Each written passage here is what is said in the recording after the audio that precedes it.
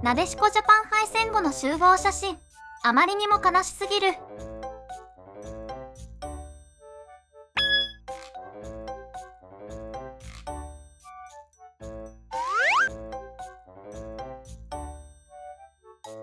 この写真は心にくる。ほんと買って欲しかった。PK 献上した選手と外した選手めっちゃ泣いたんだろうなってのがわかる。なんとか笑顔作ろうとしてる子もいるな。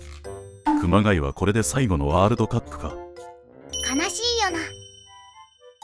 この瞬間は本当にきつい。